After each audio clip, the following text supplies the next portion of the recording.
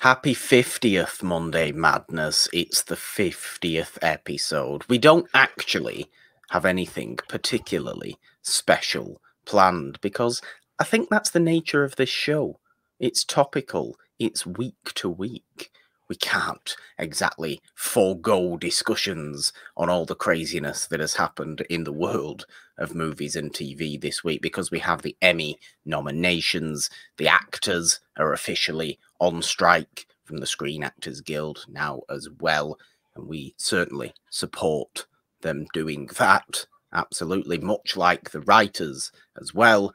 Everybody's on strike. It's a crazy time in Hollywood. But we have three pretty big trailers, one of which I consider the most trash bag thing I've ever seen in my entire life, and one of which Jeannine considers rather boring looking. Perhaps if you're watching this on the YouTube channel, you can tell by our captions which is which. But we also have a review, or Jeannine has a review of Talk to Me. We've got some more Deadpool pictures. We've got a favourite spy movie, a historical biopic, and of course, ending with the game. All of it today. Welcome to the Madness.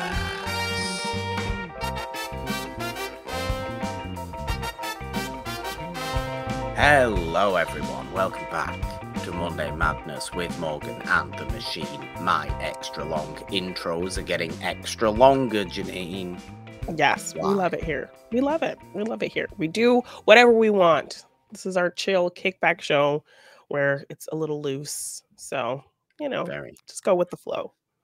50 episodes in, and my intros are just getting longer and longer and more and more waffly. But that feel it feels good, doesn't it? It feels mm. good. 50 yes. episodes of Monday. Yes. And you did say we didn't have anything particularly interesting or special today, but we do have maybe we have, we have an, an announcement things. of potentially something new what we're doing on the channel. So I oh, think oh, that's, that's true. Pretty yes. special. Yeah, it is. It is special. We we always have interesting things to say, but it's not like a it's not like, for example, the milestone episodes we've done of other shows of the of you know, it's a wonderful podcast. The main show of Morgan hasn't seen that have been very defined. Yes, and, we'll, we'll, we'll, we'll get there. We'll get there with 100. I think we will. I think we certainly will. Um, but yes, I don't know. Did you want to uh, uh, announce your special little something or our special little something um, we had an exciting announcement last week. We've got another one now. Yes. Well, I think, you know, when we get into the Emmys discussion, I think that will be very topical to that. So, um... okay. Do you want to do it then? yes. okay. Okay. Well, um, what should we start with today? I suppose we'll start by asking the question because we're, we're not here to mess around oh, today no. as much as we all would like to, and as much as I will try and drag out any conversation to an extortionate length as I usually like to do because I like the sound of my own voice. I don't really. I just kind of. I think you kind of do. That, that's why we we're getting the longer intros. it's not why. It's not why. It's sure. It's, sure. I can't Dan. help it. I sure can't help it. It's just, it's just natural. Um. So, Janae. So many things are Sup Morgan. Um, some pretty serious news in Hollywood right now with the actors joining the big strike that the writers have been going through. Um, and the studio heads being kind of terrible. Um, you know, very for, terrible. You know, we had word that some of them were saying things like, we're just holding out until they start losing their homes, you know. Um, yeah, that's nice. Yes, and now we have Bob Iger talking about their demands are um like not sustainable or not you know they don't make any sense and they're not feasible what they're asking for when he's somebody who makes millions of dollars in, yeah, in a, he literally makes i think more than a writer's salary that they would make in a full year um just uh, that's his pay he makes like seventy four thousand dollars. That's his his pay. I I don't what like a day. Doesn't he make like twenty something million dollars? Yeah, that that's like his that? that's his salary. Like somebody gets twenty dollars an hour, he gets like seventy four thousand dollars. Yeah. yeah. Yeah. Yeah. Ah, I see. Like hourly rate, you mean? Yes. Yes. Okay. Yeah. Um. You're not sustainable, Bob. Let's just let's just say yeah. that. I mean, you're better than the last Bob because he did really mess things up at kind of yes Disney, didn't he? But you can't be coming out with statements like that. You're super villainizing yourself. Especially when you're the ones who don't create anything. Like no. It's crazy. So, um, you know, seeing the the whole thing with the Oppenheimer actors having to just leave their premiere right in the middle of it because yeah, the strike kind of went through. So, and it's um, not that like you know, it's it's not that people don't want to work. I think this is the the always the situation with strikes. It's not that these people don't want to work. It's that they want just better conditions. It, because the, yeah. these actors clearly love acting. You know, they they, yes. they want to be doing that.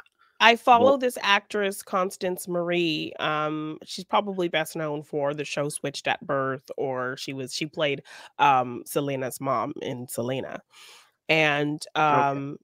She was she's on TikTok and so she was talking about this and she kind of showed like her residuals for the show Switched at Birth that that streaming services are still streaming her show and then she showed how much she's getting paid and it's like 4 cents 70 cents yeah. like those that's what she's getting for them using her likeness her face her performance in these repeat streamings of this show that she was on for what like 5 seasons um and that those are the residuals she's getting to have to live off of now in this time where she's not going to be working. Um so you know they're asking for things like that to, to you know have inflation you know accounted for in, in you know because the model that they're using for how to pay actors is a very old outdated model. It needs to be updated to what's out there now ai and things like that. So yeah. um yeah, I think uh, there definitely needs to be a reevaluation of how actors get compensated because streaming wasn't a thing when a lot of these people started. AI wasn't a thing when these people started. It's a whole different ballgame when it comes to TV um, and movies and how we consume them and, and how we're able to watch them and how they're made. So I think that, you know, how actors get compensated um, needs to reflect those changes and, and that evolution yeah, it, it's a very, it's obviously a very tough situation. At the end of the day, it all boils down to the same thing, though, doesn't it? With with both, you know, the actors, the writers, and really any striker in any industry.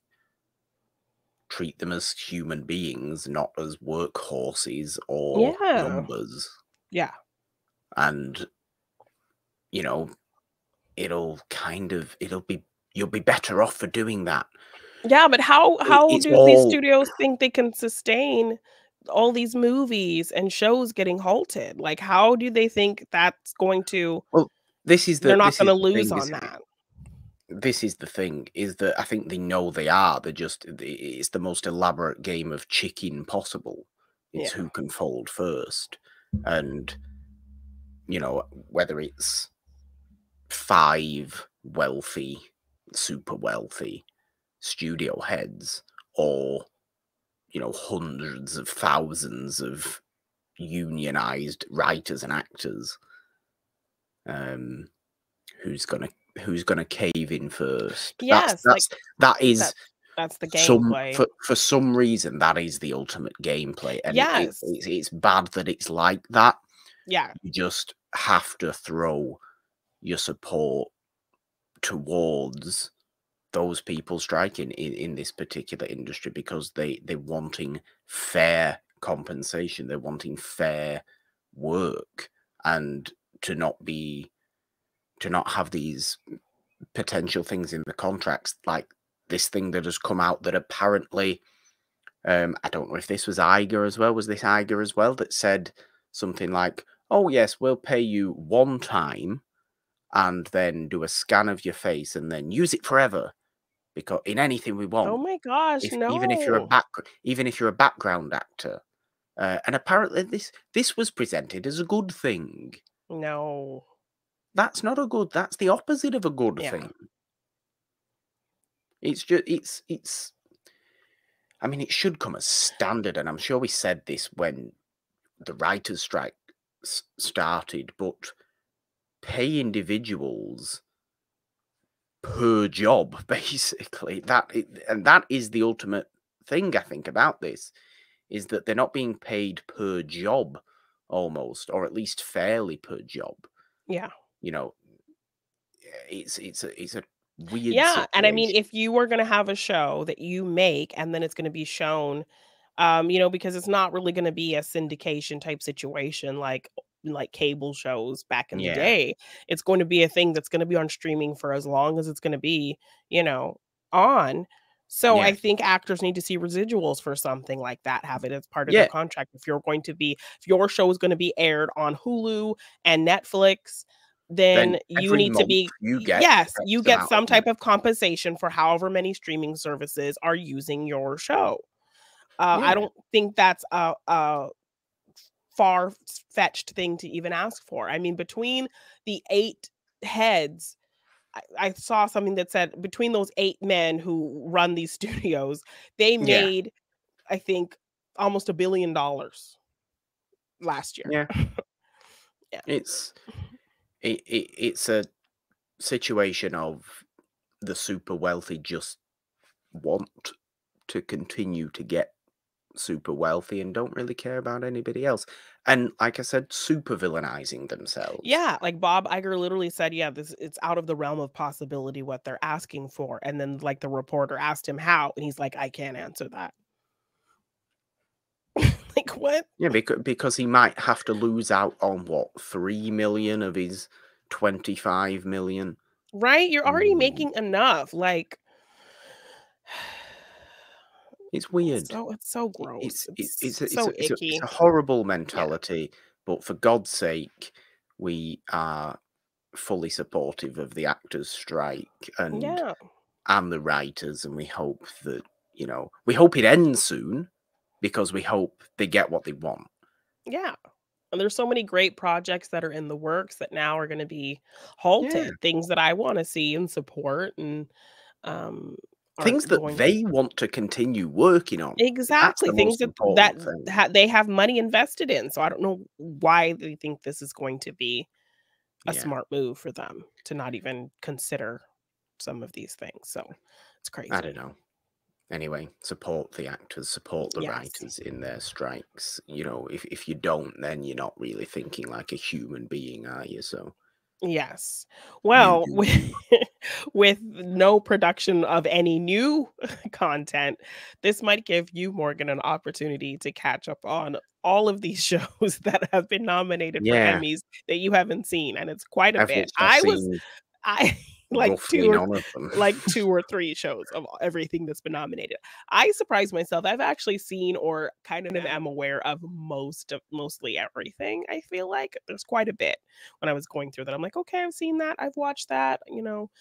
Um, so I feel pretty okay about um um, what I've seen. But in talking to you and realizing you haven't seen a ton of these shows, I am re- Yes. I am. well, well, hence the announcement that um, you know, in learning that your your TV knowledge has is just as good as your movie knowledge in terms of of, of the amount of things you've consumed.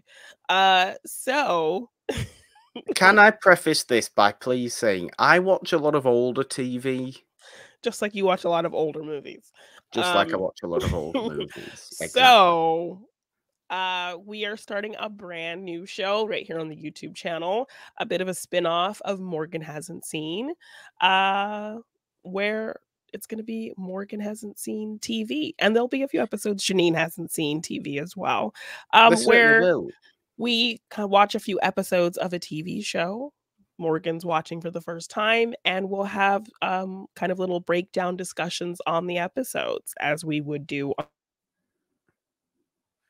on the Morgan Hasn't Seen YouTube channel, talking TV shows. So we'll have a couple of shows that we'll be watching and talking about in rotation, and the episodes will be released sporadically.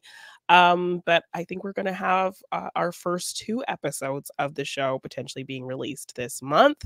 So look out for Yes. that. So Yes, it's going really fun. Mhm. we're, we're basically just going to be taking you know we're just discovering an entire run of a certain show and Yeah. whether it's one that you haven't seen jeannine we'll, we'll be getting into that plenty that i haven't seen of course um but yeah going on an entire full journey with a tv show um like we say not structured and, and strict in terms of episode releases or, or video releases or anything like that. It will just be on the It's a Wonderful Podcast YouTube channel as well. We're, we're not going Yeah. to put these on the um the the main podcast podcast, feed. feed. It, it is a separate thing, like you said. It is that kind of spin off of Morgan hasn't seen that. It's kind of more open. It's almost Yeah. more thorough than something like Morgan hasn't seen as well. Yes. And so we're going to try to talk depending on like how long the show run is. We might, we'll probably talk like two episodes of the show each each show. Yeah. So, yeah. And this will feature a an awful lot of newer TV that isn't too long. So, you Yeah. know, so you know, you, you don't end up lasting far, far too long. But there'll be some uh there'll be some old favourites in there as well, for sure. From both our sides, from from you know, both you having you uh having not seen it uh, and me having not seen it. But yes, okay. The Emmy nominations. yes. 2023. Do do we want to quickly run through? I, I think the major few categories at least, yeah. um, and see what we think of those. Again, this will be me not knowing a great deal about a lot of these because I just haven't seen them. Um, which is unfortunate. Jeannine, you will be able to say much more than me. For best drama series, we have Andor, Better Call Saul, The Crown, House of the Dragon, The Last of Us, Succession, The White Lotus, and Yellow Jackets. Yes. Um? I- I'm excited Andor got nominated because I really loved that show. That actually kind of uh solidified itself as my favorite of the Star Wars shows. Yeah. Um I just loved the style of it, the story of it and um just seeing, you know, this character that we we know to be this great kind of revolutionary um be so pessimistic at the start and so I'm really excited to see how he gets to where he ends up in Rogue One um, Yeah. as this person so much believing in the cause. Um, so the way they kind of started that journey for him was just really interesting. So I'm really loving that show. Um, so But what will win will definitely be Succession, right? Because everybody bangs on yeah, and bangs on about yes, and everyone wants Better Call Saul because it it, had its last season and It's ended, but also but yeah. also it's also the end of Succession as well. Um, so the only shows here I've seen are Andor, House of the Dragon, The Last of Us, and White Lotus. Um, Okay. my friends were um when I was headed to LA one weekend, it was the weekend that both Barry and Succession were having their season finales. So I think maybe like two days before I was about to come up, my friends were like, We're gonna do a whole watch party of the two finales. And these were two shows like I had started Barry like so long ago and then kind of just fell off. And same thing with Succession. Like I watched like the first maybe four episodes and then all of the characters were terrible and I hated all of them and there's no one literally no one to root for so I just gave up on Succession. I don't know why I gave up think on Barry. I was enjoying it.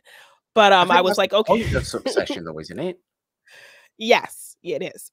Um, so I gave up on Succession, but so in the two days that I had, I was like, okay, I can either binge Barry, which I think the episodes are like 30, 40 minutes, or Succession, where the episodes are like an hour. So I went for Barry and I was able to binge all of Barry before I got to LA that weekend. Um, and then ended up just kind of watching recaps, of like season recaps Okay. videos on Succession. So I'm kind of aware of, so I was able to make sense of the finale uh, with that show, even though I hadn't really watched it.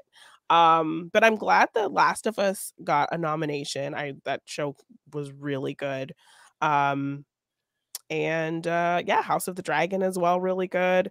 I've never seen Better Call Saul. I watched Breaking Bad. So I don't know why I just never got into Better Call Saul. Never seen The Crown. Yellow Jackets is like one of those ones I'm on my list because everyone's always talking about it.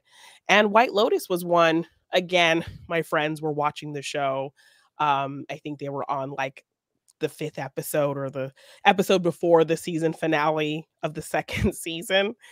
Um, and so then I watched that episode and then got when I went home, I ended up just binging the whole series of White Lotus, Okay. which I, I really enjoyed. So um yeah, I would I would love to see Andor take it, but uh, yeah, it's probably going to be succession.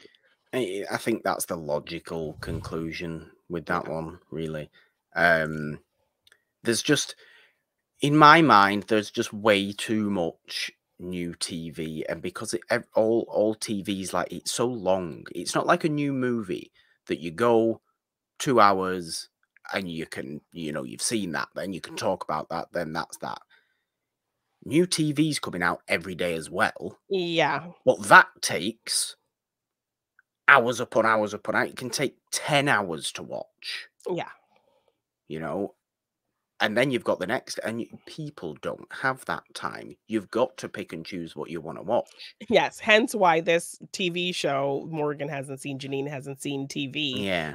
show, um, will be as sporadic and will be as sporadic as it is because it's yeah, difficult to kind of watch so much TV.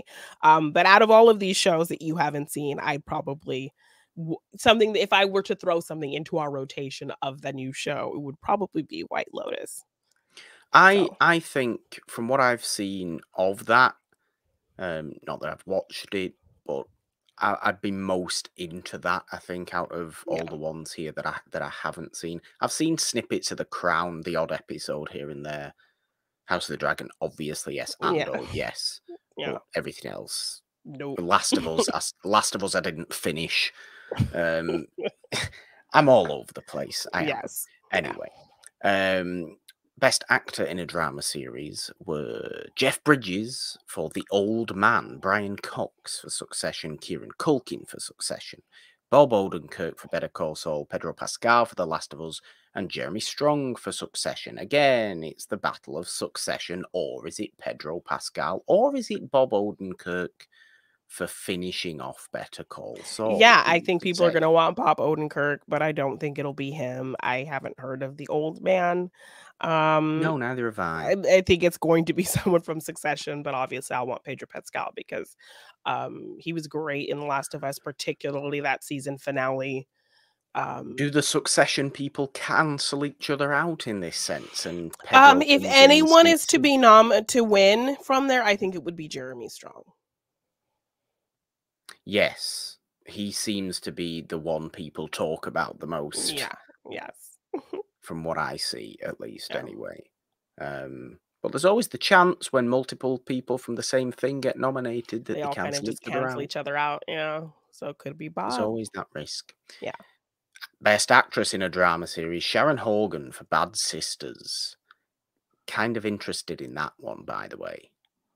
Yeah, Haven't seen even- much of it, Yeah. but I like Sharon Horgan. Um, Melanie Lynskey for Yellow Jackets, Elisabeth Moss for The Handmaid's Tale. I didn't realise that was still going on. Yeah. Bella Ramsey for The Last of Us, Keri Russell for The Diplomat, and Sarah Snook for Succession. Yes, um, I'm really excited for Bella Ramsey. She was really great. Um, well, they were really great on um, um, The Last of Us. But I think, yeah, that's the only show out here that I've seen uh, is is The Last of Us.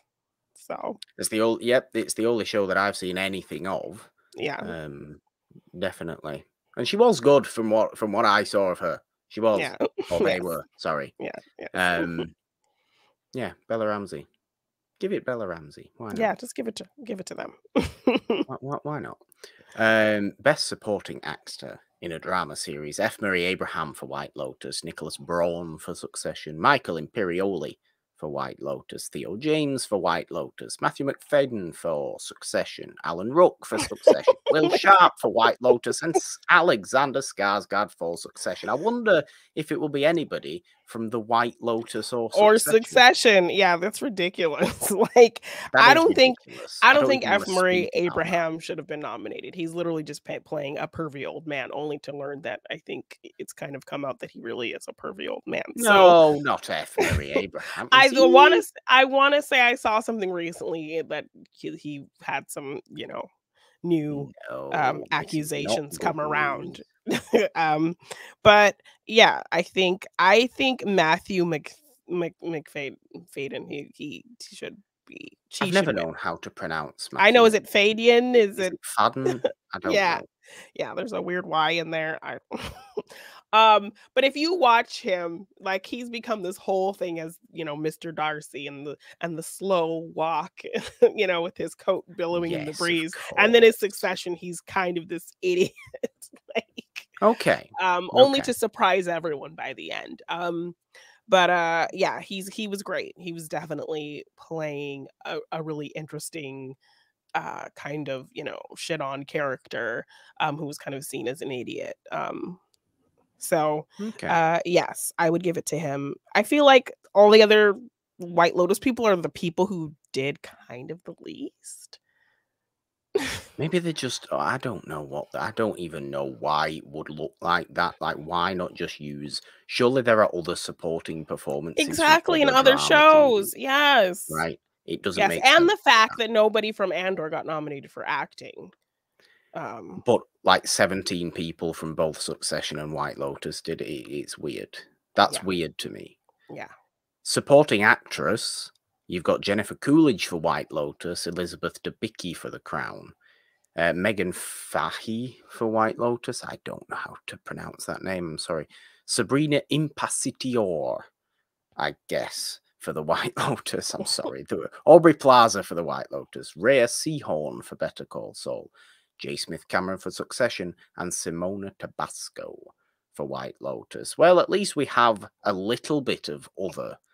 yeah but it's um, mostly white lotus again it's like all white lotus I um mean, White yeah Lotus i mean good. I mean, I I'm really kind of bummed not to see Fiona Shaw here because she was mm, great in Andor, Yes, right? right? Um, yeah, I mean, I would give it to Jennifer Coolidge. So Okay. Yeah. Uh, Jennifer Coolidge doing a, an awards show speech would be good. Is- Didn't is she do that last year? yes, it's great. Uh, okay. Best comedy series. Let's do the same for the comedy that we did for drama and then probably call our discussion on the Emmys there Yes, because they these are the two kind of main categories, aren't they? yeah, Um, best comedy series: Abbott Elementary, Barry the Bear, Jury Duty, The Marvelous Mrs. Maisel, Only Murders in the Building, Ted Lasso, and Wednesday. yeah. So I've seen a good chunk of these. I haven't seen the bear that's on my list. Everyone said jury duty is really great. I'm also glad to see that uh, uh, James Marsden got nominated for that because he's great and he doesn't get enough love. Um, Marvelous Mrs. Maisel, of course, I've seen that. I haven't seen Only Murders in the Building. I think I watched like the first maybe two episodes, but it's definitely one I want to kind of go back to. Obviously, love Ted Lasso and have seen Wednesday. So, um, I So would give it to everybody- goes on about the bear, right? yeah, As well. yes, yeah. From everything I've seen about it, how is that a comedy? Right? Isn't it kind of like messed up? I don't know. I thought that was like a really disturbing kind of character study of a of a show. of people who work in the restaurant industry. And yeah, stuff. of like a, a Yeah. weird kind of messed up, stressed out chef. If anything, like dark comedy, but not like comedy, haha, comedy. Like, Like in- not in Abbott the same. Elementary, that's Yeah. comedy, right? Yeah, Even Barry, yeah, it's pretty isn't dark. That's isn't that like kind of messed But up? I it's- mean, it's- it definitely- It's definitely played. It's definitely played for comedy for sure. Um, I would give it to Ab. comedy, I would give it to Abbott. sure. I would give it to Abbott or Ted Lasso. But um, yeah, But wasn't this last season of Ted Lasso, or does it go from the from the year before? I always get confused with. the years. yeah. So I would think maybe Ted Lasso would be nominated for another year, but for season two. Yeah. not three because people didn't like three, right? yeah, it don't- definitely was. It I was the it was the weakest season for sure. Okay. Yes. Well, best um, best actress in a comedy series: Christina Applegate for Dead to Me, Rachel Brosnahan for Mrs. Maisel, Quinta Brunson for Abbott Elementary, Natasha Lyonne for Poker Face, Jenna Ortega for Wednesday. Natasha Lyonne got a lot of love for doing for Poker Face, yes, I, I've been meaning to watch that, but I haven't seen it yet. Um, I would give it to Jenna Ortega because despite what people think of the Wednesday show, whether they liked it or hated, they loved her performance. She was very So, good. yes. She was very good. I think that's a good that's a good selection of people. I like those people. Yes. Let's just let's just say that. I like all of those people and would be happy to see them win awards. Yes. Um, best actor in a comedy series: Bill Hader for Barry, Martin Short. I don't really like Martin Short for Only Murders in the Building. Jason Segel for Shrinking. Jason Sudeikis for Ted Lasso, and Jeremy Allen White for The Bear. Is it probably going to be the Bear guy? I mean, maybe I would give it to Bill Hader. Also, Jason Segel was really great. I loved Shrinking. I, like my coworker had told me about it, and it's such a good show. It's really funny. Also hits like those emotional beats really well. It's from, uh, it's written by and, and created by Brett Goldstein, who was on Ted Lasso, Okay. and Jason Segel. So, um, definitely kind of has the same comedic heart as Ted Lasso for sure. Um, so yeah, I would love to see Jason Segel get it, but Bill Hader, he was able to do a lot of great comedic work, but also a lot of dramatic work as well um on Barry. So Okay. Well, supporting actor in a comedy series. Speaking of Brett Goldstein, he's up for this yes. for Ted Lasso uh, alongside Anthony Carrigan for Barry, Phil Dunster for Ted Lasso, James Marsden for Jury Duty, Eben Moss Backrack for The Bear, or Ebon Moss-Bachrach, Tyler James Williams for Abbott Elementary, and Henry Winkler for Barry. Yes. Henry Winkler was actually really great on Barry. I would just personally like just want to give love to James Marsden. I haven't seen Jury Duty, but I know I saw the concept of it was really funny and like clips of it looked really funny. So I mean, I would just want to give it to James Marsden just because I love him and I feel like he doesn't get enough credit for stuff. So um but I would maybe give it to Henry Winkler because he was he was great on Barry. Yeah. Okay. And best supporting actress in a comedy series, Alex Borstein for Mrs. Maisel, Ayo Edebiri for The Bear, Janelle James for Abbott Elementary, Sheryl Ralph for Abbott Elementary, Juno Temple for Ted Lasso, Hannah Waddingham for Ted Lasso, and Jessica Williams for Shrinking. I mean, I I love Hannah Waddingham. She's so great and like she talks about, you know, kind of how the show saved her, saved her life and her career and did so much for her and like um, you know, she was a struggling actress who is so talented at so many things and Ted Lasso kind of gave her the stage to really show people what she can do and she's amazing. So I love her. So I would love to see Hannah Waddingham win. Um, but Janelle James, she's absolutely hilarious on Abbott Elementary. She's Okay. she's the principal, but she's like super lazy, never wants to do anything, just like blows off her job all the time. And is, so she's I really, need to watch that. it's really, really great. You would love it. Like if you like The Office, if you like Parks and Rec, it's very much that kind of documentary style because I think it's kind of like a documentary, people watching them and like you know doing a documentary on the school. So it's very much like that. Um, it- it's really funny, and Janelle James is hilarious. Is just kind of this principal who just really doesn't give a shit about anything. Um, she, she's really hilarious. So yeah. I really should. I really should. Well, we, we'll. There's plenty more Emmy nominations, of course. we want Yes. to uh, show love to them, but of course we have plenty of other things to talk about today. And just another shout Um, out for Andor. I'm I I would have loved to see Andy Serkis get a nomination for his part in Andor as well, for like guest yeah. appearance or whatever that that nomination is. But um, Yeah, which but I think, wasn't. but I want to say Nick Offerman um got nominated for. I think his- him and Murray Bartlett did. yes for for The Last of Us. So I, I'm excited Yeah. about that. Yeah. That's good. Yeah, Yes, we- we- that was like beautiful. that. That. was a beautiful episode. Yeah. Like we said, plenty of other nominations. Yes. Those are just the the major two, The main ones. major acting ones. Yeah. um, that we wanted to just get into a little bit on today's thing. Uh, thing on today's show. We also have a few more pictures released from Deadpool 3 showing uh, Hugh Jackman's Wolverine in full yellow gear. Yeah, people got really excited, which is all we'll see because that movie's probably on hiatus now. So, oh, definitely. definitely. Yeah. Um, I mean, exciting to a point. I, I admittedly like, yeah, okay, it's comic accurate, it's 90s cartoon accurate. It's very good. We all like it, don't we? But there is a reason it should have been left there. I do think it looks a little bit silly, but But I think it's that's probably the point. for that. But I It think it's probably the point. probably it's probably the point. If this movie's not taking itself seriously at all. There were some pictures also where you can see like a destroyed Fox Studios logo kind of in the Yes. background in this fight sequence. So I think it's very much like Deadpool kills the Marvel universe, Deadpool kills the X-Men universe kind of thing, but he's going to kill the Fox X-Men universe and or like just the Fox superhero movie universe. So I'm sure we're going to have heroes from all of those movies popping in and he's going to be just killing it because they kind of even set that up in Deadpool 2 with him with time traveling and you know killing Yeah. Ryan Reynolds like as he was reading the you know um the Green Lantern script and stuff like that. So um As we um Yeah. As we theorized last week, it would be something like of that. that yes so i think it's it's going to be super silly um if we ever get to see it if it ever gets made if these greedy ass people you know give the actors what they want but um yes. I think eh, I, a lot of people were excited about the comic accurate outfit, and I think that was just supposed to be the silly fun of it. I don't think this movie is taking itself too seriously at all.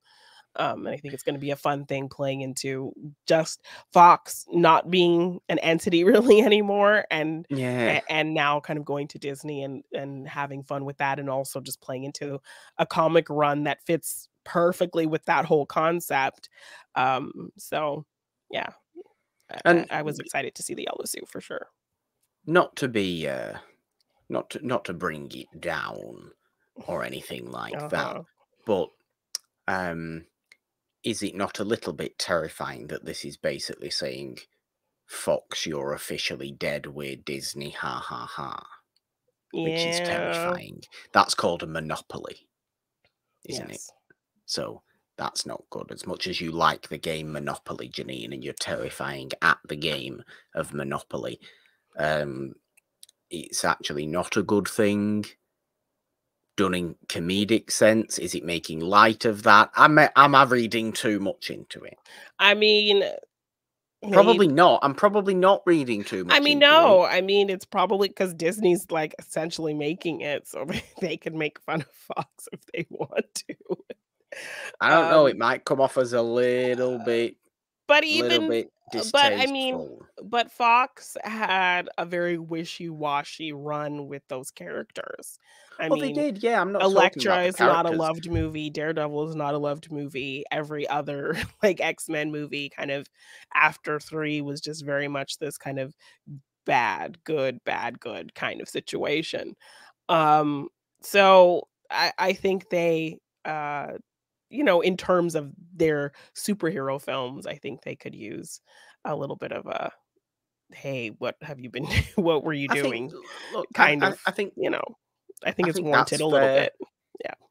There is some there is some great Fox superhero movies, or there was, you know, when they were making them, there really is. Some of those X Men movies are Yeah. wonderful. Um, I just don't want this to turn into a bigger picture kind of let's remove all Fox movies forever because I don't want to lose them. No, well, I think I think it's going to be focused. I'm reading way too much into it. I know that. Yes, I think it's going to be focused on the superhero movies of them of, of Fox and and not Fox in general. So I really don't want that. There's just it's a slippery slope. I'm that's all I'm worried about, right? I'm just worried about the slippery slope, and all of a sudden we have no Fox movies from the 30s anymore. No, of it's not. I I really don't think they're going to go back to the 30s. I think it's purely focused on the superhero legacy of Fox. So But even that, I don't want them to just remove those movies from existence. Do it as a joke. Yes, do it as a joke. Yes, of as a joke. course, of course, it's just going to be a joke. But this is Um, what I'm saying. You say this, but people are evil. People are evil. You say this, What but do you I think think that those movies are just not going to be on any platforms anymore? Who's to say? Who's Hey, to say? well, he he stopped Ryan Reynolds from reading the Green Lantern script, and Green Lanterns is still available. So It is that is true, yes, but that's also owned by another company. yes, well, I think I think you're definitely reading too much into it. So I hope I am. Reel it in. I hope I am. I hope I am. Let's get into some of these trailers then that we have today, um, because we have three fairly major trailers that came out this past week. Um, what should we start with, Jeannine? Should we Um, start? Well, I don't even know what we should start with Mm. because there's just one screaming at me at the moment. That's just um, well, we can start with Napoleon. Um, start with Napoleon then. Okay. I mean, I'm not a huge historical figures type movie person. Um, and this, I don't care about Napoleon. I don't. But does it not look like? See, No, it looks boring. It looks boring to me. It just looks boring to me. If I'm going to see anything about Napoleon, I'm going to watch Bill and Ted's Excellent Adventure, where Napoleon is being ridiculous and running around a mall and here was me. in the 80s. Here was me, Jeannine, planning an elaborate Napoleon retrospective for It's a Wonderful Podcast. Yeah, no, thank you. when this movie comes I'm out that you now will not want to do. Okay, well, we can watch. You haven't seen the Bill and Ted movie, so we can do the Bill and Ted trilogy where Napoleon is featured in the first one, where Bill and oh, Ted collect a bunch of historical figures to help them with their history report. Or we can watch 1927's Napoleon, Waterloo from 1970 with Rod mm. Steiger, and then and then this new one. Yeah, I don't know. Nothing about this trailer got me excited. It just looked kind of boring to me. I know Joaquin Phoenix think is a great, great. actor, of course, because you love history. But I don't know. Like, I guess it has to just come at me at a certain angle to to get me excited about it or interested about it. Um, but this did not really do that. I mean that's that's fair. This is this is entirely personal opinion. I'm not saying I love Napoleon. I know a great deal about Napoleon. I just think this looks like a really top quality first rate Telling of the story. Yeah. And I'm always into that kind of thing because you can get historical movies that are you know that that don't look good that sometimes look cheap sometimes look kind of over theatrical or, or Yeah, or very kind of Oscar baity. Yeah. Oscar baity or things like that. And nothing about this Napoleon trailer comes across as that. It comes across as a real, genuine interest in getting underneath the ca- the, the person of Napoleon and, and seeing, you know, what he was like personal side of him. what he yeah what he was like as a person because he was obviously a phenomenal military leader a phenomenal speaker a phenomenal you know leader in general but also a complete maniac Yeah. you know and a tyrant and just ruthless to a fault and sell you know kind of arrogant to a fault um, I think you're going to see all that. Joaquin Phoenix is is a perfect kind of actor to play that kind of thing. Yeah. I think as well. Um, unfortunately, it's not in French, but that would have perhaps been going a little bit too far, Too far. Yeah.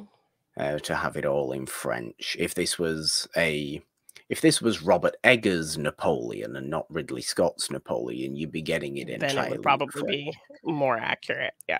But then again, having said that, the Northman wasn't exactly all in Old Norse, was it? It was Yeah, that's true. it, it was in English. So maybe I'm wrong in saying that.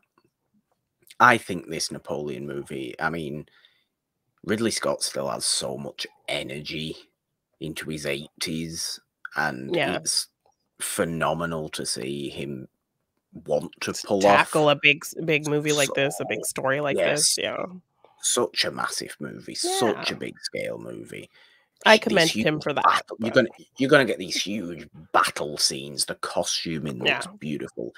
Yes, okay, some of the visuals look a little bit kind of dark and muted. I don't necessarily love it looking so desaturated. I think that's why you can go and watch, you know, Waterloo or something like that that is a little bit kind of brighter looking Brighter, yeah. um it's it, it, it seems to just be the way of doing modern historical movies is darken them and it's a little bit unfair i think on the past because people like yourself perhaps can look at them and go oh that looks grey and boring and horrible we don't like that really it probably should be a little bit more colourful Maybe. um, and that's just visually more colourful. Yes, it can be tonally as dark and tonally as as weird as it is, but visually it perhaps should be more colourful. But I still think it looks wonderful, very very authentic, very very gripping. And I think it's going to be a real, a real Epic. a real epic and i mean that in a movie sense because we don't get too many true epics anymore Fair. you know this is not the 50s Yeah. um it's nice to see one that looks to be of, of real real Quality. quality and has a bunch of history people that i follow really really excited for it as well so I, I, I like that. I love. I, I really do love the look of uh, of this Napoleon movie, and it makes me want to go and watch the other Those other ones. Napoleon movies, especially the 1927 one, which I've never seen, which is like four and a half hours long, I, I, um, and he's actually French, but he's apparently just game Great. changing. So okay. naturally, As a, from a discovery standpoint, yes. A four hour Not movie in French, of course. You want to yes, see that. not not for um not for not for necessarily I have to like those movies. I'm a pretentious pretentiousness. but it's nice to Yes. get into different facets of movies, isn't it? This is what we like doing. Of course. Um, that is Napoleon anyway. What about? I mean, I, I want to leave it as long as possible, so please let's talk about the final Blue Beetle trailer. Yes. Um, I'm just really worried that well now um that this movie already wasn't really getting promoted all that much, and now I don't think it, the actors can really promote it at all No, or do press or anything. So now I'm really worried about it. Um, but this movie looks really fun. Um, I liked getting to see more of of our character in the suit and how it works, and um, it looks like a lot of fun. I like that his family is going to play. Look like with this new trailer, we got to see more of his family kind of being involved. Uh, like at the end, the grandma's like holding a gun and yes, uh, uh, so I like that the family is going to be a huge part of this superhero, um, and and kind of helping him, and they're all going to kind of be his guy in the chair. It looks like, um, yeah, So yeah, I really want this movie to do well. Um, I think it looks like a lot of fun, but now I'm kind of worried that you know it's just not getting, and now it probably won't be able to get the promotion that it needs or the. I'm I'm in a it needs. very I'm in a very very similar mindset to you on this because I I think this movie will suffer heavily from the the the era that we continue to be in of too many superhero movies and, Yeah. superhero TV and all that kind of stuff, where things just get lost. And 15 years ago, this movie would have done really well. Yeah, You know, this movie looks like a hell of a lot of fun, and it's giving, you know, Xolo Mariduena a, a, a big role, and you know, a big Yes. moving from Cobra Kai into major a major superhero. I say major superhero movies. Blue Beetle's obviously a smaller superhero Yeah. than than your major DC players, and it does come at a very weird time for DC, obviously because it's it's not exactly a you know it's not exactly residue of the past, but it's not exactly the future either. Yes, it's in a weird kind of place. It's weirdly kind singular. of yeah, it's like a singular thing, but it's also kind of the kickoff of this new phase of DC, and it's following three big failures for DC. So it's in a just a really weird position. And now with the strike, there's not going to be the actors aren't going to be allowed to really, if they're part of that, they're not going to be allowed to promote it at all. And it wasn't really getting a lot of promotion to begin with, I don't think. So I, I, mean, it's going to be it's going to be the most focused of recent DC movies. Yes. So it's going to be up to the fans to really support this movie and just because I think a lot of people are aware of it. Um so yeah. I know. Yeah, I, I I hope it does. I hope it's good. First of all, it Yeah. it certainly looks very enjoyable. I just I can't see it being super successful, but like you said, I, I hope Yes. d- I hope that doesn't turn into. I hope any lack of success it has doesn't turn into this movie was bad because I don't think it will. be. Yeah, yes. I think if it is not successful, it'll be because of circumstances out of its control and not because Yeah, it'll be an is so inherently bad movie. Yes, because it looks like a lot of fun. Um, it's you know kind of a character. It's like it's very much like I think Guardians of the Galaxy for people who aren't huge comic book fans or comic book people. Yeah, Introducing a character that maybe not the mainstream knows and and getting to know them with an actor. I think people really fell in love with on Cobra Kai yeah, um and, and you know uh showing a character from uh, a, a kind of very underrepresented group of people and, Yeah, you know, absolutely. the first, so- the first Latin comic book movie, isn't it? Really, the first Yeah. with a with a Latin lead. yes. So surely you've got to think a certain community will come out in I mean, force yes, for it, no matter what, so. right? yeah so So I hope I- you do. i'm hoping I, I have the best of hopes for this movie because i think it looks really good and um yeah yes i'm excited Yeah. for it this this trailer showed a lot of new stuff that just made the movie look even more fun so And I think the the small the smaller feeling scale of it will help it as well. Because it actually looks like it was filmed on sets and Yeah. it was filmed in locations and not in false created arenas. yeah And and the suit looks really good. The yeah Beetle suit looks really good. The the visual effects of this trailer. Yes, like even the suit kind of going on him and ge- having this like horror, body horror kind of vibe to it as well. Yeah. Um I will be going seeing Blue Beetle definitely.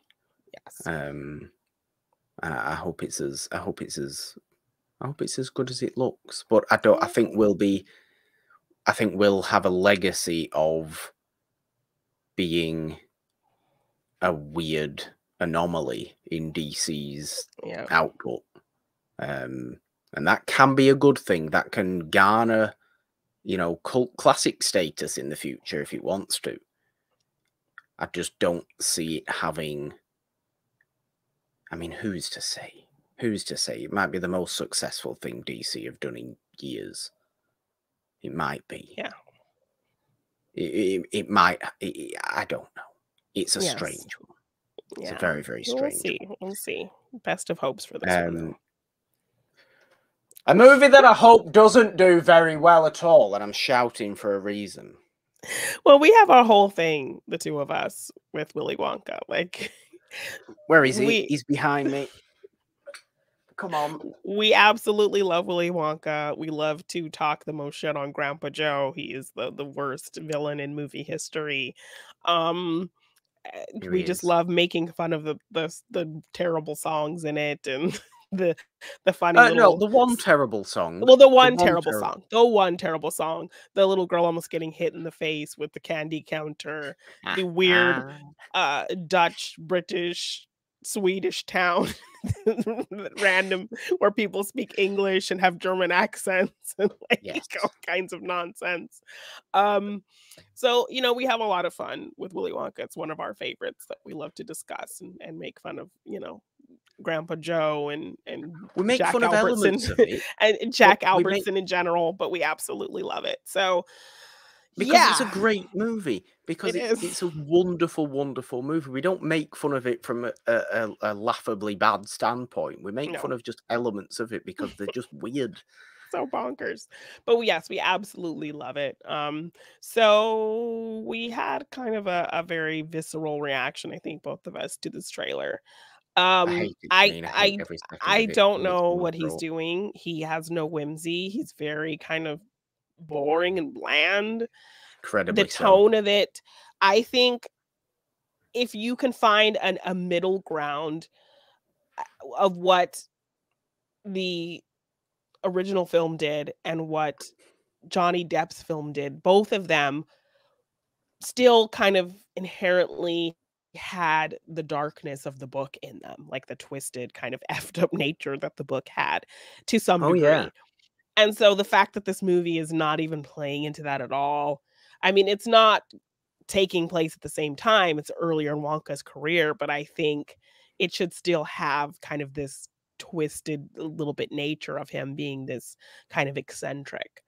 Um, and he's not playing eccentric. Um, He's not playing eccentric. I don't know what he's playing. Timothee Yes. Chalamet is a great, great actor. he is. Timothee Chalamet should not be playing shouty, cheerful, weird, and wacky. He should No. be playing quietly sad.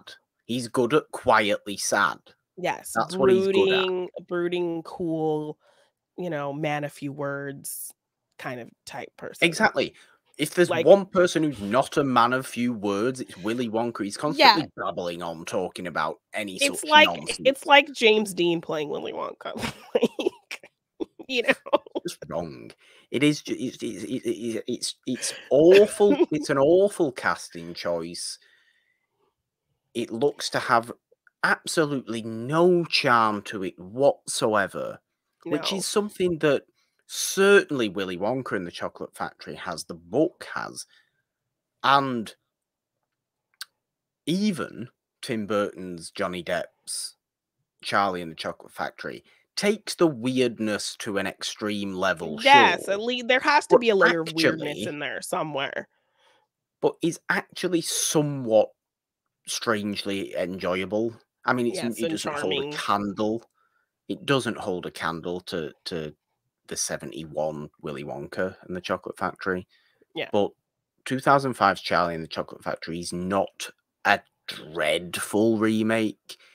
It's overlong in parts. Johnny It's Depp does come across as very weird in it, but at least he, but at least he's coming across as eccentric. At least he's Yeah. coming across as weird, Yeah. which Willy Wonka is weird. yes. Whatever Chalamet's doing here, It's not- little it's not it. Willy Wonka. He's not remotely weird at all. Yeah, no. He's trying to like floop his finger around and do something with an umbrella, and just because he's wearing the outfit doesn't mean he's Willy Wonka. Yeah, he's not playing He's- into it very well. He's very kind of just dry and bland and and the world that they're creating, it's like very much like this wannabe Harry Potter kind of vibe. Like let's just put some It- well, colorful things in the background and and that means whimsy. like Yeah, it's it's not yeah, it's like lazy whimsy. lazy whimsy that doesn't work, and Yeah. I, I I enjoy nothing about this trailer. Yeah. Nothing. And I love Charlie and the Chocolate Factory and Willy Wonka and the Chocolate Factory, the whole story. How has this weird movie got made as well before the actual sequel of Charlie and the Chocolate Factory, which is Charlie and the Great Glass Elevator, Yeah. where Wonka takes Charlie on a trip like to the stars in the Great Glass Elevator, right? Um, because that's where Willy Wonka, that's where the movie finishes. Yeah, flying around ended. in the Great Glass Elevator. Yeah. Yeah. It's not where the Tim Burton movie finishes. That's another thing. Weird. That ends up with like what's that end up with? Charlie's house in the factory or something like that. Something like that, and then we see all we actually get to see the kids and you know all messed up at the end. Oh, we do. Yes, of course. Yeah. Stupid. Um, but why, why, why we're getting a prequel to or, or, or, or an origin story of Willy Wonka is not something we need. The reason people like Willy Wonka is because he's a bit of a mystery. We don't know him. Anything goes with Willy Yeah. Wonka because you don't know if he's gonna, you know, give you a hug and uh, pat you on the head and say, "Well done, Good go on off and you. enjoy yourself," or actually nearly kill you. Yeah. You don't know what he's going to do. He might do. He might do that, and then a second later, he might almost mutilate you. But yes, this this Wonka has no mystery, he has no style. He's just very I don't know, just very dry and plain. I hate it. I I, I don't. Yeah, I was not into it at I all. really Really, like no, I didn't like anything he was doing in that trailer. And then we have Hugh Grant as an Oompa Loompa. Like, Oh, it's vomit inducing. It's absolutely vomit inducing. Why? Why we need to do that? Why can't we just do? What? Why do we have to CG a small body onto Hugh Grant's head? Why can't we just hire somebody of that size, perhaps, that we did Yeah. in the early seventies? yeah, It worked. It was fine. Nobody thinks it's nobody thinks it's offensive, do they? That the Oompa Loompas happen to be small, because that's Yeah. just the Oompa Loompas are small. That's fine. People, some people are that way. yeah. Hugh Grant's not that way, so surely this is actually offensive, right? Yeah, And also, it just looks why is he not speak? Why is he not overdubbing German? Because that's as we all know, that's what the Oompa Loompas should be doing. And look, okay, if we're going off the book, there's a little bit of like mm, racist. yes, yes, There is. of how the Um, Oompa Loompas came to be. The Oompa Loompas in, in Willy Wonka and the Chocolate Factory, the movie, are the best way to do it, where they're just kind of there and, and we don't really know who they are, but they're clearly not like, they're clearly not some sort of racist thing. yes, the, the orange and green. You know, they don't exist in real life. yes, and uh, I think to the extent of what he says, I think he just says he kind of rescued them, and that's the kind of where we leave it. I want to Yeah, say, From from um, yeah, seventy you, you don't yeah. get the big let's go explanation of jungle, jungle and and kidnap them and enslave Yeah. them essentially. and, and Yeah. enslave them. They- That's Yes. exactly what's going on. Yeah. But no, I I I've turned a page with Hugh Grant in my life, Jeannine, as well, to the point where I can respect what he does. And this is going to ruin that. This is going to take me all the way back to just wanting to throw up every time I see him. Yeah, I mean, I think I I made a decent effort in showing you some things of his that, you know, made redeemed him a little bit for you. You but- did, you you really did, and I'm afraid this movie is going to ruin that now. Bummer. It's horrible. Yeah, it makes we were me not want. It makes me want to cry. Yeah. I knew it It's would make good. me. I knew it. I knew I wouldn't like what was Yeah. going on here. I really did. I just didn't think it would come across as this. Ugh, which is the only possible noise I can make. Yeah, it's not good. It's really, really not good. For God's sake, let's move on and talk Okay. about some things we do like, please, Jeannine. Because let's get into today's Let's Talk. Well, we had one more thing actually. Oh, did we? Did we? Sorry. Yes. Did Um oh, we did. Oh, God, I'm sorry. We did. um I went to my theater. I think uh, plenty of theaters are doing this now. I think it's a Regal thing particularly where they do Monday mystery movies. I've gone to quite a few of them um where they preview a a, newer movie um, before it's wide released. Uh, so I went to one um last Monday and it happened to be for the new A24 horror film Talk to Me. So it is an Australian, I believe, horror movie.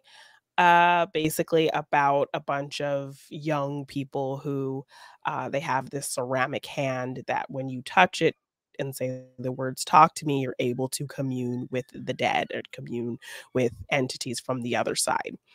Um, they realize that I think you can only, you know, have the entity within you for no more than 90 seconds, or the entity will want to stay um and, kind of possess you. So they end up kind of using this as a fun party game parlor trick situation. They film each other they drink they you know have a good time with it and then make sure that you know you get the entity out of you before the 90 seconds. So there's always somebody like timing it. So we meet our lead character um, mia who she's lost her mother presumably to suicide, but her father has never really been honest with her about what really happened. Uh, so I believe she's coming up on, I think, the one year or the two year anniversary of her mother's death. So okay. she's very kind of, you know, so she, you know, when she's approached with this game, she's very much eager to kind mm. of mess around with it, I think, because she yeah. has this weird feeling of death based on, you know, her mom. So she gets kind of into it. And, you know, one night when they're all kind of playing with this whole game of this, you know, communing with the dead. Um, they end up taking it a little too far. Um, demons kind of end up, you know, sticking around where they're not supposed to stick around, right. and so yes, it becomes like this whole mission to get rid of them and and get things back to normal. So, uh, yeah, I think the pacing is really fast. Like we get into it really quickly. Um, I think the visuals are really cool, really scary. Um, there is some kind of self harm uh depictions that are really difficult to watch like somebody bashing in their head like on on hard surfaces which was just very much like uh kind of um very well, like, thanks to the thanks to the demon or of the yes thanks to someone being possessed and oh, okay. making them like harm themselves um but yeah, really creepy visuals. I think it's a really well paced story. Um, I think we get enough time to kind of understand our characters, but they do set up a few kind of character dynamics that they don't really flesh out. You know, so okay. it's like why set this up if you're not really gonna it's it's, it's gonna factor in in any kind of big meaningful way. Um, but it's really fast paced. We get to kind of the horror action pretty quickly. Um, it's really scary and intense and, and it builds really well, I think. So I actually really enjoyed it. I think if you are somebody who likes supernatural horror, because I'm not even someone who really likes possession supernatural horror, but I actually got really into it and really wanted to see where it was going to go and seeing if our characters could get out of this situation with these demons and all of this. Um, so yeah, I found myself really getting into it. Um, I just wish they would have you know maybe taken the time to flesh out the story the you know character storylines that they had set up a little bit better but overall i think you know i liked how quick paced it was that we got into things pretty quickly um, throughout the story so. Does it fit into that a24 style of kind of small scale weirdness yes so it, yes so it definitely feels very small scale very kind of quiet and comfortable um in terms of not some kind of big overblown uh, thing that's trying to to do too much or forced jump scares just for the sake of it. I think it's definitely trying to tell an interesting story and um, lean into um, kind of this being able to commune with the dead. Um, you know, that's kind of what causes a lot of the problems um, with with our main character um, is kind of her desire to really communicate with her mother and um, yeah. that that's kind of what kicks off a lot of the, the issues that we have in this movie. Um so yeah i like the the pacing of it was really well done um it just feels very small and intimate and creepy and uh yeah so i thought it was a solid supernatural horror flick. Good okay yeah. i have been interested in seeing this i just haven't been able to uh, yet. Yeah, I do believe it's a, it has a wide release on July 28th. So yes, it's not too far away at yeah. all. Yeah. So I, I, certainly will be seeing Talk to Me.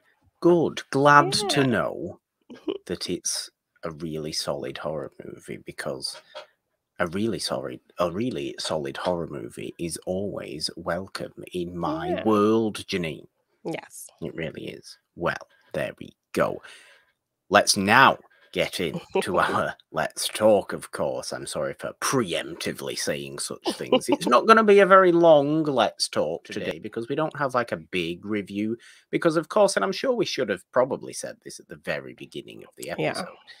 Yeah. Um, Mission Impossible, we're not talking about it here. Mission Impossible is being solely and exactly, that's not the right word, talked about and discussed over on Morgan Hasn't Seen all month. So, yeah. our big review of Mission Impossible Dead Reckoning Part 1, that you may have been sat here listening and watching this show thinking, are they not going to be talking about yeah. Mission Impossible? Mission Impossible 7 today. is like, yes, we are. In two weeks, two weeks, a little bit at the end of the month on yes on on on Morgan hasn't seen because that is we're we're doing all the Mission Impossible movies yeah. over on Morgan hasn't seen. So all any and every discussion on Mission Impossible, um, if you want to hear all our thoughts on that, then go on over to the main podcast feed. You may already be there if you are listening to this and not watching. Um, and look at Morgan hasn't seen on there because yeah. that's where all our Mission Impossible stuff is. Yes. Um, but we did want to take the spy element and apply it to today's Let's Talk. So we did. Yes, we did. Um, but yes, that is where our dead reckoning discussion will, will be found. Be. Yeah. Unfortunately, not here. It would have, of course, normally been our big main Let's Talk review yeah. for today. Of course, it would. Um, but yes, we're doing something particularly fun over on that show. So we are just going to talk. We're, we're going to talk about two movies each that we uh, maybe just want to show some love to because this is nice to do every once in a while. Pick a genre, pick a movie. Doesn't have to be the greatest movie of all time in that particular genre or anything like that. Just one we happen to really like that we just want to show some love to. We have one spy movie each, Jeannine in honor of Mission Impossible, it has to be said, yes. and uh, Dead Reckoning Part One coming out this past week. Um, all I will say, actually, uh, let's just actually say one little thing about Mission Impossible: Dead Reckoning Part One. It was very good. I very much enjoyed it. Yes, I did as well. Yes, I, I really did. That's all you're getting for now. Um, That's really good. We're talking about we're going to talk about one spy movie each that we happen to really like and want to show some love to, and one historical biopic each. Uh, and that's in honor of Napoleon, because while Jeannine hates Napoleon, as her caption says, and I mean, hating Napoleon the person isn't necessarily a bad thing.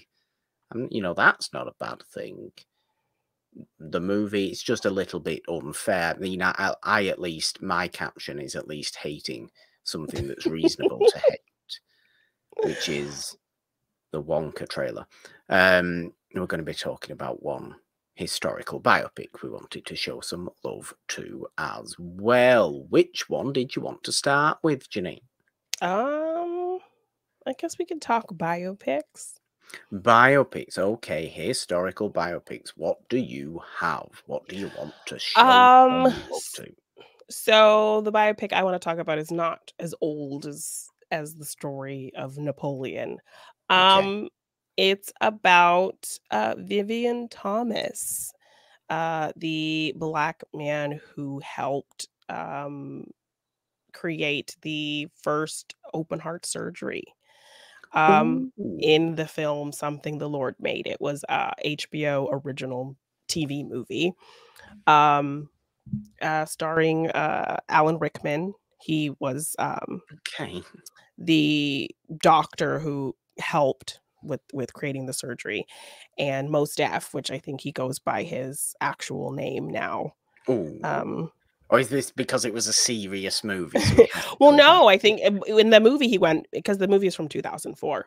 So in the movie he was Mos Def. His, you know, he's originally a rapper, and so that, yeah. that's his rap name. But his, his, but if you look him up on IMDb, he's now going by his actual name, Yasin Bey.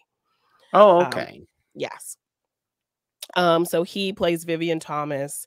He was a um, like a carpenter. He ended up getting a job in a lab, and um, Dr. Blalock, played by Alan Rickman, kind of noticed him reading the books and taking an interest in the equipment and and he had been all his life wanted to be a doctor and had been saving up for medical school and then the bank that he had his money invested in went under and he lost all his savings and so he ended up um, you know uh, Dr. Blalock ends up taking him on and helping, and he ends up helping him kind of figure out um, the the first open heart surgery. There's this baby who is like has this blue baby disorder because something's wrong with her heart. She's not getting enough um, blood to her heart, so she's blue. She's like completely blue.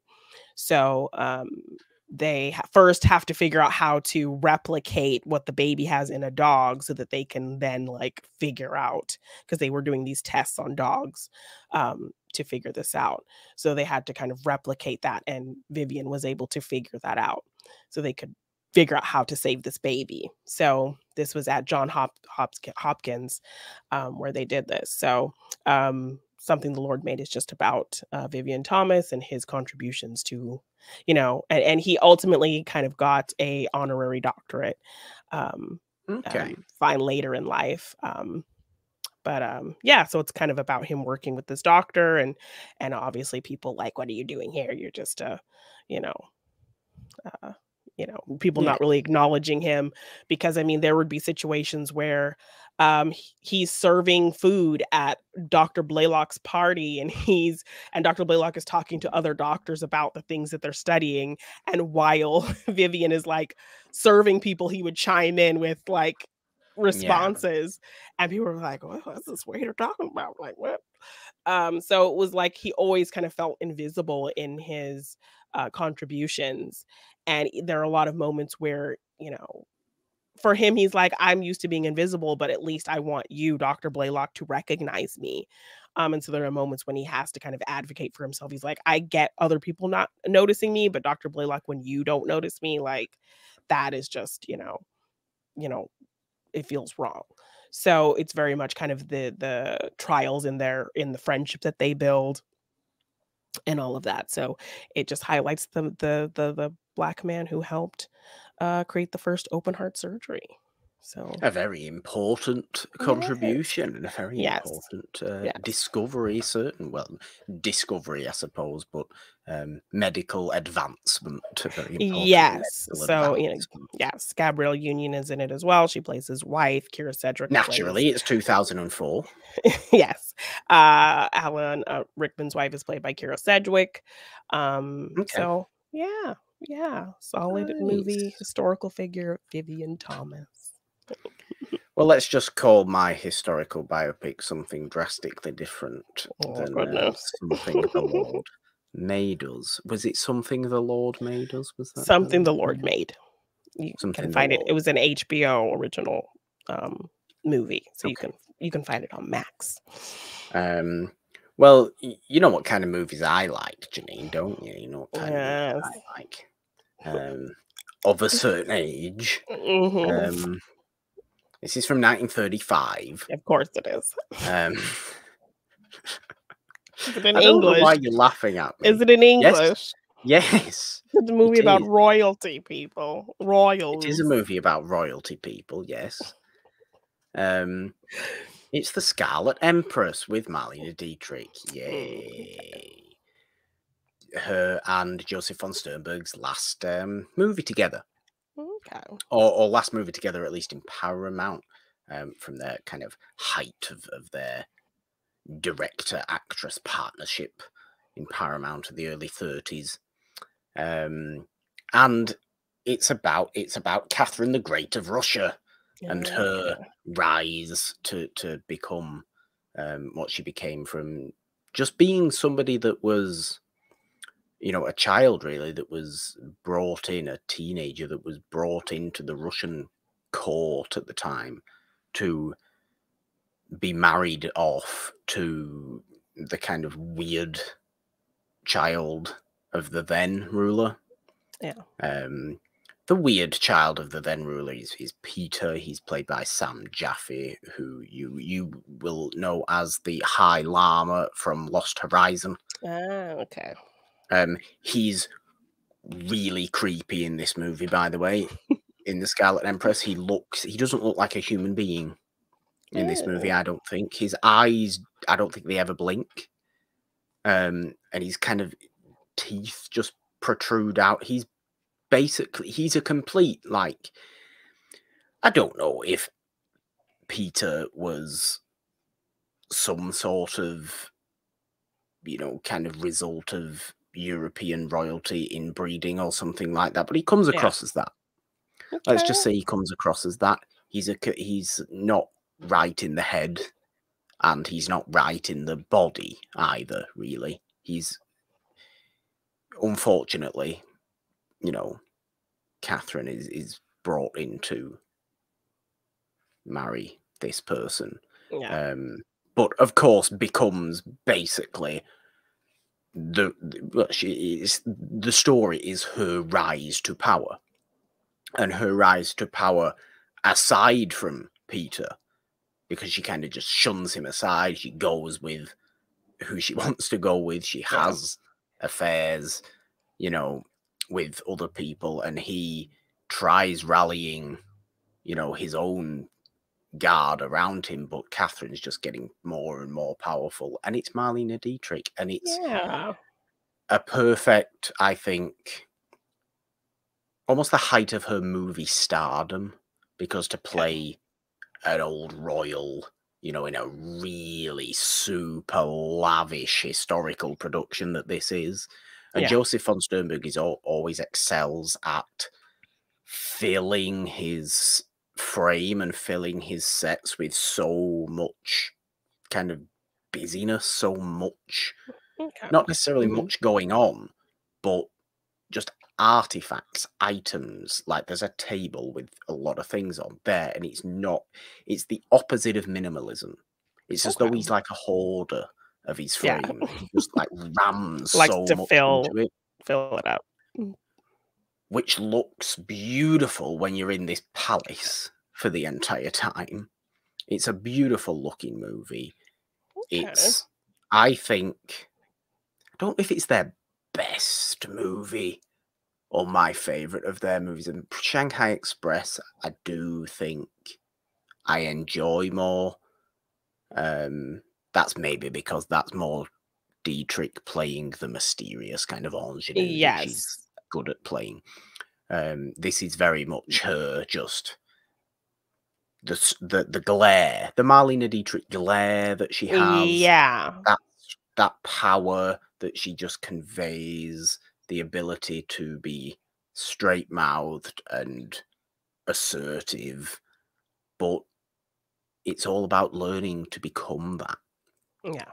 And it's all it's it's that story yes okay it takes historical liberties sure I think but every it's a beautiful beautiful does. looking movie Yeah. it's such a great such an interesting area because you don't you don't get too many movies about old russian royalty really do you uh, yeah. you know w- w- we're used to seeing old english royalty all the time in movies you Yeah. know you, you, Yeah. but you don't get too much of this and catherine the great was a very determined very ruthless in her own way leader and we see that in this movie Okay. um so to have that mixed in with possibly my favorite actor director partnership ever Ooh, one of certainly yeah, then you know for, for con- it is a bold statement but for consistency for amount of movies for just pure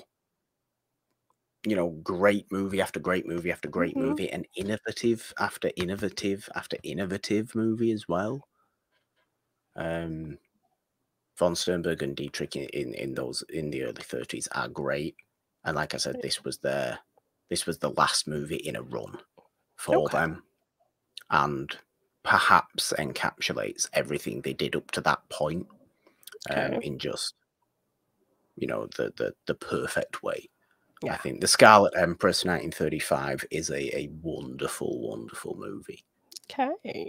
it really is if you like that kind of Yeah. thing Okay. definitely very different to something the lord made Yes. Very different. as far as historical biopics go but yes There we go. What about spy movies then, Jeannine? Um, well, you had to know. I'm not going to be picking some kind of serious spy movie. Oh, Um, okay. so I went with uh, a spy versus spy rom com. Okay. We know what this And is. Do we know what this, This is? means war. This means war. Oh, with, okay. uh, Chris Pine and Tom Hardy. They're both best friends and spies who end up dating the same women, uh, Reese Witherspoon, and uh, end up kind of using their spy tech against each other to one up each other in dating Reese Witherspoon. So it's a lot of fun. Uh, people, I don't like people hate on this movie. Um, I don't think it did very well. I think even Tom Hardy kind of hates it because it's just so different from anything he did. But that's why I love it because I love seeing him be kind of a fun rom com person, and like he's actually really good at it. So that he hates it, Okay. like, oh, it makes me sad. But he's really fun in this movie, and we never see Tom Hardy be too much fun. I think the most fun we've gotten him since this movie was probably like in the Venom movies. But um yeah, like I think it's it's really funny how they use their spy tech against each other. Um there's a lot of fun little in joke type things. Um and their dynamic is really cute. I think their chemistry is really great. Like the two guys, you know, um, they feel like best friends that have known each other forever. Um, and yeah, it's just it's just so much fun. Like I love that movie. But Okay. show, show, show love to show love to these. This means war, yes. that. yes, two hardcore spies who end up, you know, end up just wasting their spy skills on just messing with each other the whole time. Okay, I like I, I, like the idea. I, I probably like idea of depicts one of the most romantic looking dates I've ever seen. Uh yeah. So Okay. Yeah. So if Okay, you want to there we go. cute, cute, light Tom Hardy, watch this movie. Then, well, yes, there we go. I mean, uh, m- my choice for a spy movie is is rather different again to to your choice. Um, it's from the thirties. Um, it's it's it's it's actually not something that you'll laugh at, Jeannine, because it's a movie you like very much. It's kind of a low key spy movie. You don't necessarily realize it's a spy movie until a certain point. It's The Lady Vanishes, Hitchcock's Ah, The Lady Vanishes, which starts off as just like a, a, a mystery, yeah. really. Almost a, a Brit noir mystery. mhm. Um, early, I suppose, because it's not really technically noir because it's in the 30s. Um, of course, you know, Michael Redgrave and um, Margaret Lockwood are on the train. Yes. mm. Um, old, old little May Whitty as well, who we just love, who is the old lady. It's that, the lady who vanishes. um, who, you know, Margaret Lockwood meets and speaks to, has a nice conversation with, but then vanishes, and nobody on the train has seen her. Seen Nobody on the her, train knew she existed. Um, you think she's going insane. It's a Hitchcock movie, so Yeah. you get you get all the great. I think it's Hitchcock's best thirties movie as well that I've seen. Like definitely. Yeah. Like I know the Thirty Nine Steps is a very loved, more pure spy movie from this time from Hitchcock. I watched the Thirty Nine Steps a few years ago. I couldn't really get into it too much. Perhaps I'm due a rewatch, perhaps, but The Lady Vanishes, I think, because it's almost a secret spy movie. Yeah. You know, it doesn't show itself as being a spy movie. It is a mystery at its core about finding out is Margaret Lockwood actually going insane? Did she hallucinate the entire thing? Yeah. Or is there something more sinister at play here where there's a reason that she only spoke to her and where's she gone? What are we trying to do here? It's all Yeah. very secretive. Hitchcock does a great job, obviously, at creating that tension, creating that suspense, Yeah. never making you aware of exactly what's going on, always just showing you exactly what ne- he needs to show you Just yeah. right up until it's all revealed to be a big spy plot Yes. and a big espionage thing. Um, a secret spy movie because I think that's my favorite type of spy movie. I was looking through all, you know, kind of lists of spy movies and Mhm. there was a lot that I, I I want to see. I think there was a few that I have seen, certainly kind of older ones. You could have said something like The Manchurian Candidate, which is a great, great Oh yeah. movie. but Mhm. I Obviously, think we did a deja vu on that. We did. I believe we also Very, covered this very- one on the podcast as well. We did, yes, we did cover Mhm. The Lady Vanishes. Yeah, uh, but Manchurian Candidate, a very, very dark movie. Obviously, a brainwash type spy movie, communist brainwash type spy movie from the early '60s, of course, in the height of the Cold War and all this kind of stuff. Yeah. Um, that is more of a pure spy movie than you know with what we think about spy movies. Yeah. Um, but I think maybe aside from aside from Bond, which I obviously like, and, and now Mission Impossible and things like that, I prefer secret spy movies, mystery movies that turn into spy movies, rather than kind of just I'm a spy and I'm doing a job. You know, Yeah. I, I, I, I there's there's elements of that that I do like, but I don't know. I was looking through a lot of them, and I was just like, I've got no desire to see that. I've heard of it, and I've heard of that, and I've heard of that. I just don't really want to watch any of these movies because I, I maybe I don't love spy movies. Maybe not. You know, maybe I maybe I just don't love spy movies, but I was looking as well, and something like Three Days of the Condor, I'd be interested in seeing Robert Okay. Redford. But there's some that are just like, "Mm, I don't care, I don't care about that, Yeah. and it was weird t- for me to think like that. So I think I need secret spy movies, so I decided to pick a secret spy movie. Okay. You could That's also pick one. virtually.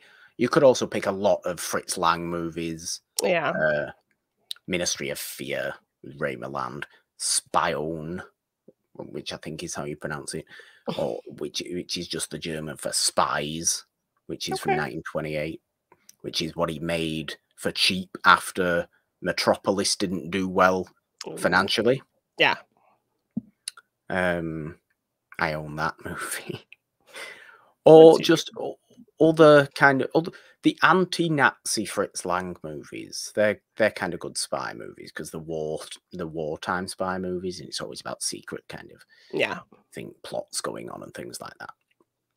Um, but yes, or I did see mentioned the uh, remake that we didn't do as a deja vu for the Big Clock, which was No Way Out. Ooh. Kevin Costner Yeah. '87, which I think is more of a spy movie than than, or more, or at least more of a, than the original. at least more of a political plot movie than um than the Big Clock is, which is really just more of a, in, you know, anti-institution kind Yeah. of noir mystery. But Yeah. I saw that as well. Anyway, anyway, The Lady Vanishes. It's a great. Yeah. No, it's a, it's a good one. Hitchcock It's one of my It really favorite. is. Wha- Yeah, it's one of my favorite Hitchcocks for sure.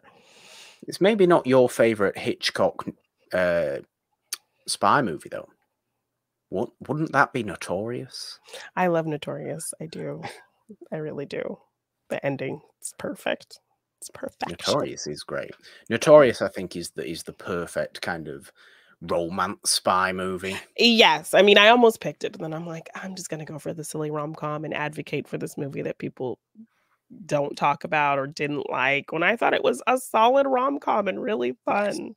So, That is a fair point. That is a very Yes. very fair point. Well, we did say it wouldn't be a too long of a let's talk today, but Jeannine, let's finish with some fun and games. What do you have for me today? well, since, you know, Napoleon has us in a very historical mood, I'm going to ask you some questions about um historical figures in film.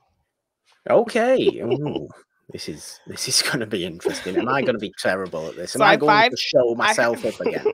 I have five questions based around um, historical figures in movies. Okay. Okay. Okay. All right. Are you ready? Yes. All right, question one. Name three actors who have played Wyatt Earp. Three actors who have played Wyatt Earp: Henry Fonda, um, uh, Kurt Russell, and uh, uh, who was Wyatt? Uh, This should be easy. This should be Burt easy. Lancaster. Yes. Yes. Yes. Also Kevin Costner. Also Kevin Costner, of course. okay. In in the same vein, name three actors who have played Doc Holliday. Oh, so Kirk Douglas. Um, who was Doc Holliday in My Darling Clementine? Um, oh god, Val Kilmer, obviously, yeah. Yes. And who was Kevin Costner's Doc Holliday? and who was Doc Holliday in My Darling Clementine? Oh no. No, why don't I know that? Why can I only pick two Doc Hollidays? No, this is not good. Oh my gosh. I can only pick two. I can't think of who Kevin Costner's Doc Come Holliday was. on. I can't. We we love him. We love him. He is a standout to us. I can't. I, I don't know. I don't know. All don't right. know. Sorry, Okay. I. Well, well, Kevin Costner's was Dennis Quaid, Dennis Quaid.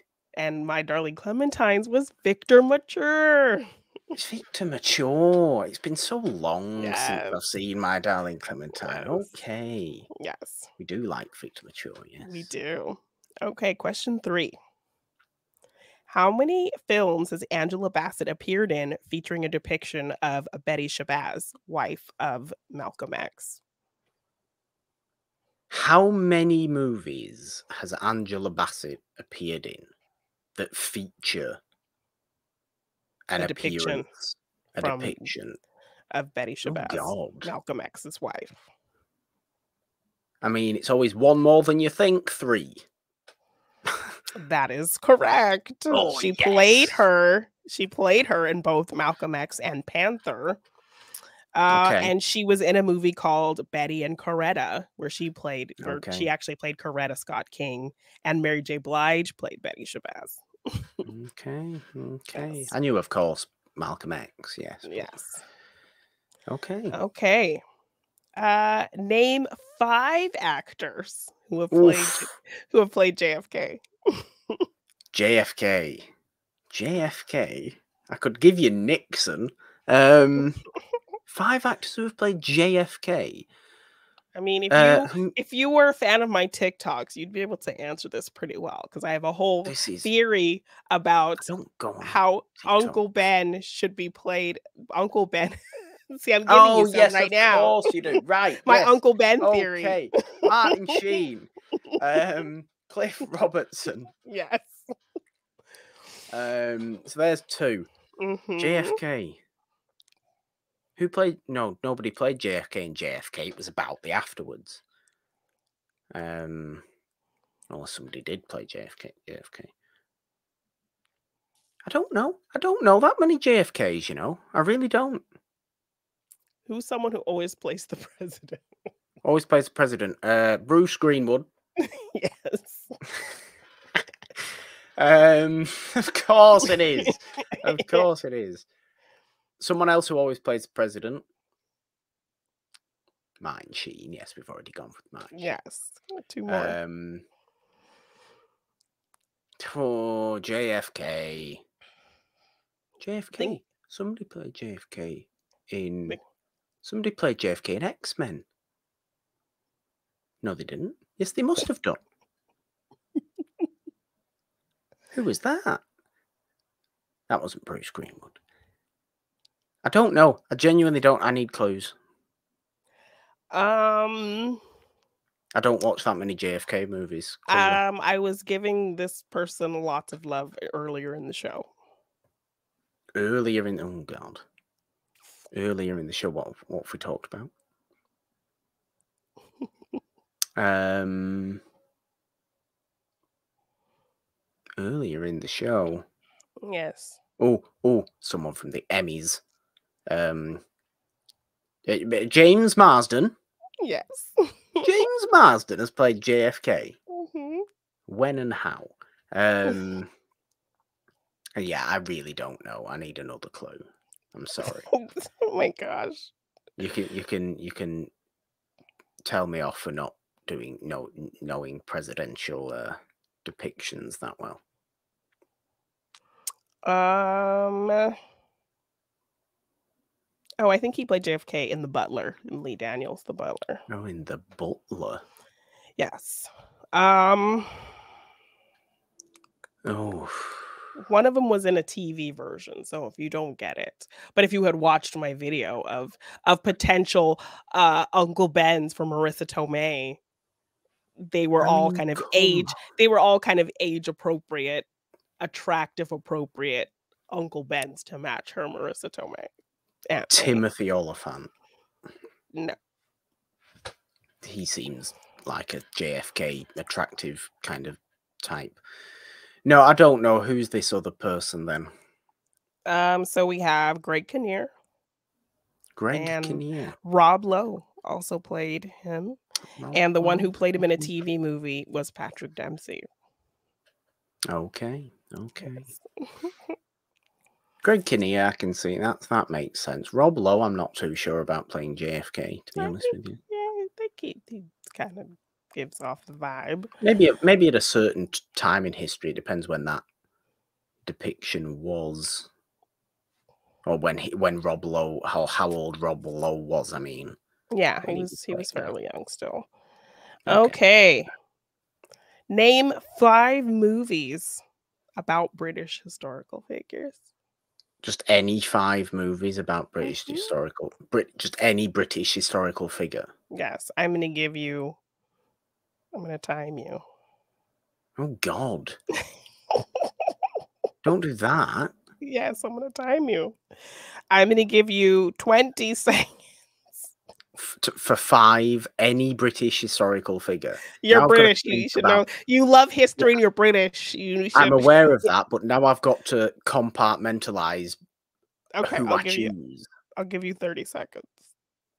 And go. Elizabeth, the Queen, um, Darkest Hour, um, The Private Life of Henry VIII, and A Man for All Seasons. There you go. Wow, no lion in winter. No Lion in Winter. See that, that I had to choose. I was picking Tudors. Then that's what I was. yes. I'm like, you're gonna go And for I- the royals. I, I was picking Tudors, and then I went a little bit World War Two, and then I went a little bit Yes. Queen Elizabeth. I didn't now. expect you. Yeah, I didn't now. expect you to go for Iron Ladies or the King's Speech. No, of course, too too new for The Queen was only 2006. That's when that came out. Okay, fair. Well, good job, no. Morgan. Thank you. pretty good. Thank you. Pretty Thank you. Thank you. Didn't didn't really show myself up there apart from on the JFK, yeah. apart from on the JFK front.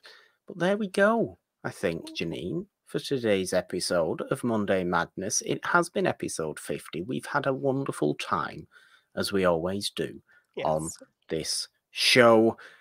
Of course, though, it is not the only show we have on the It's a Wonderful podcast feed, nor is it the only thing we have on this YouTube channel, as we did have that exciting announcement before of uh, the spin off of Morgan Hasn't Seen, talking about TV shows coming Yes. to this channel um, in the next few weeks, or actually, probably next week and the week after. So there you go um, subscribe, ding your notification bells on this YouTube channel. If you are watching here, if you are not watching and you are just listening, go on over to the It's a Wonderful Podcast YouTube channel and subscribe and ding your notification bell, of course, for all the fun stuff we do have on the channel.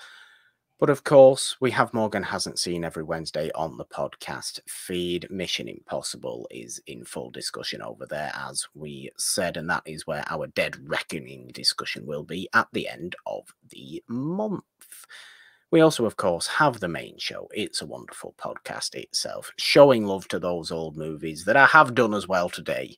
Yes. every single Friday on every episode of the main show. It's always a fun time discovering new old movies and just giving them a platform to say, hey, this exists, go and see it. It's great just because it's from 80 years ago.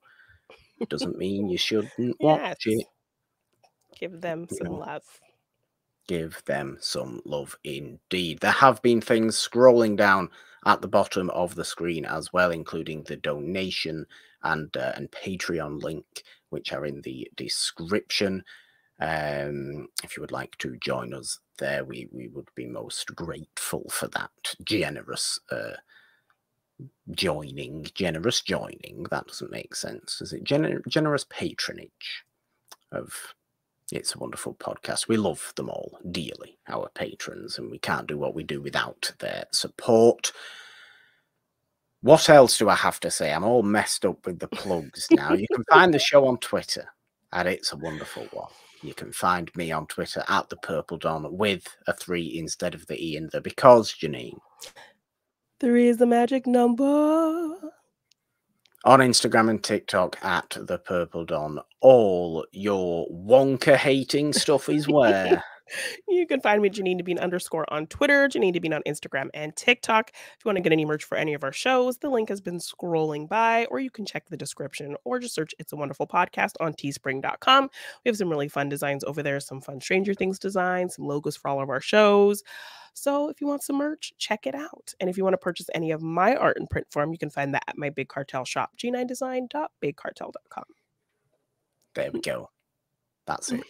There's no more left to do. Happy 50th Yay! to Monday Madness. It's great to be at 50 episodes of this Yes. very nonsensical show that we do on Mondays here. Jeannine, there is only one thing left to do. Is there any fun impression?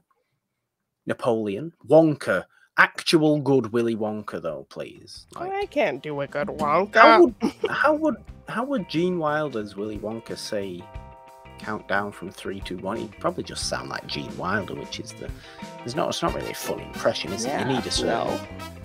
I'll just So- sound like Timothee Chalamet, like bland and boring. You don't want that. You don't want that. Well, do whatever you want then, Jeannine. Count us down. It's very exciting. Yay! Three, two, one. It sounded more like an Oompa Loompa. Bye. Bye. Yeah.